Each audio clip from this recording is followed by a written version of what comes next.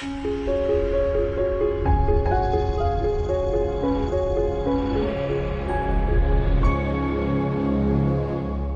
家好，今天是美西时间六月十八日，欢迎收看第二期《万维读报》，我是 Cherry。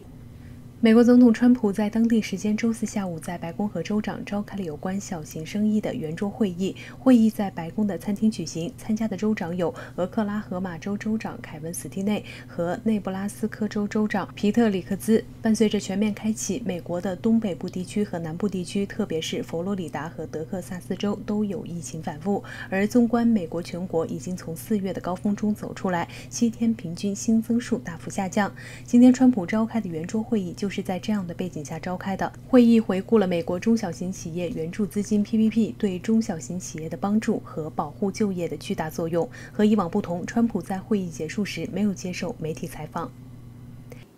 美中关系跌至谷底之际的六月十七日，双方在夏威夷举行了低调但维持七小时的彭阳会。结果不出所料，中美双方人各说各话，甚至各自摊牌。尽管美国国务卿蓬佩奥十八日表示，杨洁篪再次承诺愿兑现美中第一阶段经贸协议中的所有义务，但这难以掩盖中美逐渐脱钩的现实。美国总统川普十八日再撂狠话，推特贴文称，美国的确在各种不同情况下都保留了。与中国完全脱钩的选项。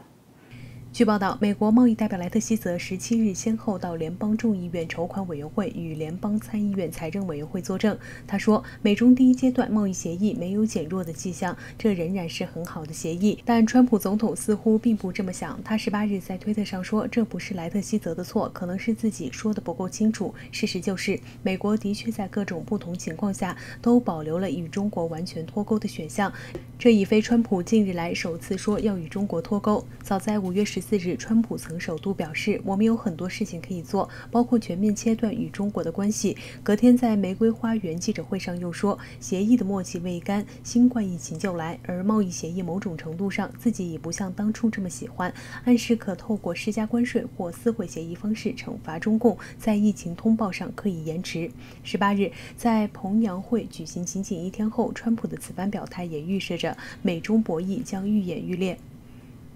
中印边界本周发生冲突，印度十八日对牺牲军人举行了隆重葬礼，印度民间则已陆续出现了反中情绪，在新德里有民众手持。图习近平及解放军图像游行至中共大使馆示威，更表示要抵制中国货。有人愤然地将中国产的电视机丢下，再给人践踏。中印军队十五日晚间在具有主权争议的高海拔拉德克地区边界爆发了数十年来最严重的冲突。印度历史最久且发行量最大的《印度时报》更指出，至少有六十三人遇难，其中有四十三人为解放军。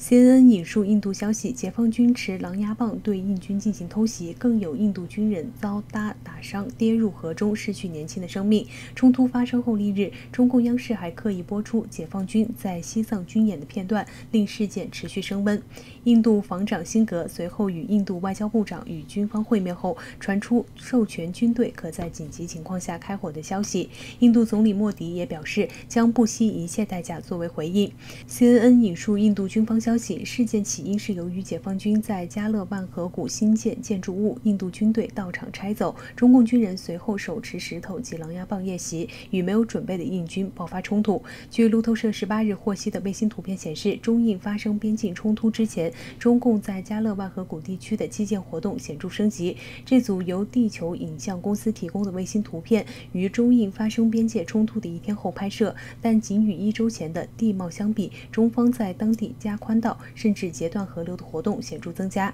另据《印度时报》引述消息显示的话称，印度政府正在讨论对主要从中国进口的商品加征关税。消息称，尽管印度政府目前还没有最终敲定，但其重点将放在减少对非必要物品的进口。目前，印度进口商品约百分之十四来自中国。中国首都北京正在陷入新一波的新冠危机。尽管中国疾控中心专家吴尊友最新声称疫情已经控制住了，但外界认为这只是中共惯于维稳的说辞。反而，中共北京市委书记蔡奇的表态较为真实的反映了疫情的紧张情势，接连的称进入非常时期，疫情防控形势严峻。连日来，全市开展了核酸大排查，全城进入了半封城的状态，北京成为新一轮中国疫情的暴风眼。有中共大。外宣评论认为，蔡奇可能成为第二个王岐山，如果疫情处理得当，在中共二十大上高升。不过，这次疫情真相慢慢受到质疑，外界认为，尽管北京致力精准防控，但难以防止病毒攻克中南海。党媒近日撰文称，北京是中国首都，首都无小事，事事廉政治。这句话是北京官场的明规则。北京政府以及蔡奇对于北京疫情的处理是否得力，事实上是中共高层衡量他行不行的重要指标。文章认为，对于一个地方的执政者而言，能否处理好危机，往往成为其仕途更进一步的关键。最典型的案例就是2003年，王岐山临危受命，被中共高层紧急任命为北京代理市长。后来抗疫有功的王岐山赢得了救火队长的称号也成为他日后高升的政治资本。相对而言，文章认为，在中共官场，蔡奇身上的争议可能是最多的一位。若此刻北京政府处理妥当，显然将成为蔡奇的加分项。现年六十五岁的他，有极大的可能在二零二二年的中共二十大上更进一步。但蔡奇面临的情况与王岐山毕竟今非昔比。有分析指出，当局想透过大数据和局部地区大面积核酸排查，采取有别于先前武汉一刀切的封城模式。进行所谓的精准防控措施，主要是由于北京的特殊地位，当局恐惧北京疫情蔓延将对其政权造成巨大冲击。至于疫情本身对民众造成多大损失，中共其实并不关心。但即便中南海戒备再严，都不可能做到长期的百分百防范。中共高层无论如何使用特权保护，都难以避免被病毒攻破中南海大门。如此说来，蔡奇要想成为第二个王岐山，可能要泡汤。日前，北京当局发布了六类人员需要进行核酸检测的通告，如果没有核酸检测报告，以后可能就得下岗或停业。结果就造成了各检测点人满为患。据悉，有的核酸检测点挂号已经排到了九月。据财新网报道，全北京市正在开展新冠病毒核酸检测，划分成六类应检尽检人员，包括新发地涉疫市场、涉疫社区相关人员、医疗机构从业人员等。目前，北京市具备核酸检测能力的机构有九十八所，每天最大检测能力约为九万多人。北京医院、佑安医院等多家医院均表示无法在前台挂号，建议通过公众号或一幺幺四预约。而在小庄医院，核酸检测预约已经排满。至九月十五日，由于上述这六类人员必须要进行核酸检测，否则可能会面临下岗停业。因此，大家为了生计，不要命也要进行核酸检测。因此，民众都不顾及安全距离，每个核酸检测点都拥挤不堪，极可能出现聚集性交叉感染。